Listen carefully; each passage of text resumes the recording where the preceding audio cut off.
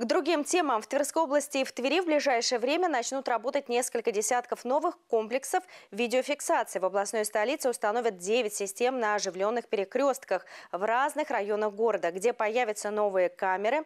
И чувствуют ли себя комфортно жители Твери под зорким оком гаджета, выяснил наш корреспондент. В объектив камер наблюдения зачастую попадают моменты краж, вандализма, нарушений правил дорожного движения и ДТП. Такая запись может стать неопровержимым доказательством вины. Поэтому всевидящее око помогает восстановить справедливость. Центр Твери, безусловно, усеян камерами видеонаблюдения. За нами смотрят отовсюду. Со стен жилых домов, магазинов, торговых центров, с мачт уличного освещения. Но в ближайшее время камер станет еще больше. Что касается областного центра, то в ближайшее время установят еще 9 новых систем на оживленных перекрестках.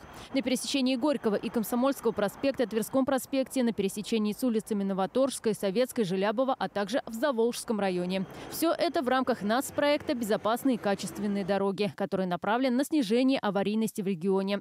Как отметил президент России Владимир Путин, современные дороги – это более удобная логистика, новые перспективы для бизнеса и многое другое.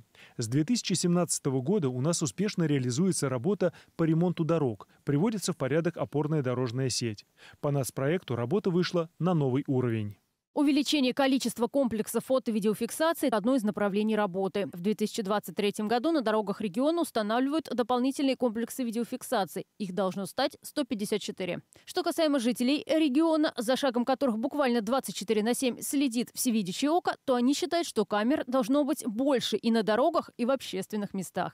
Это поможет э, определить нарушителя происшествия, если какое-то происшествие на дороге произошло.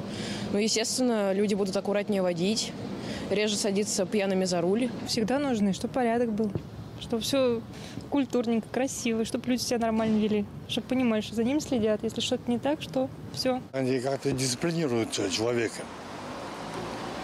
и помогают в развитии, в разрете преступлений.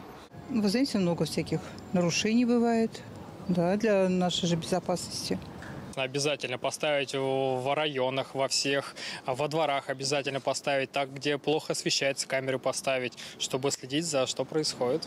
Если говорить о результатах, то можно сказать, что эта большая комплексная работа уже принесла свои плоды. По итогам 2022 года число погибших на дорогах по отношению к 2021 году снизилось на 22%. А что касается нарушений, то только за 2022 год в автоматическом режиме в регионе выявили более 1 миллиона правонарушений.